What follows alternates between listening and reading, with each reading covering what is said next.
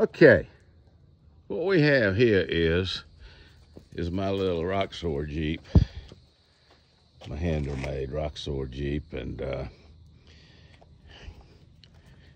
some West Jackson, that being Jackson, Mississippi, of course.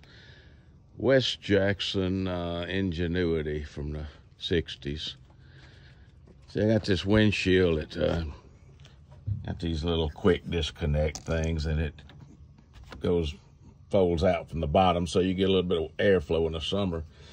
And of course, it's not strong enough to stay open against the wind doing 30 miles an hour or more. So uh, I put a jar of Jif natural peanut butter between the windshield plate and the front of the car so it can't blow shut. And if I get really, really hungry, I can just unscrew the cap and eat some peanut butter.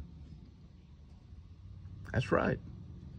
We'll be uh, taking this little thing to uh, Colorado here in a week or so. And uh, there you go.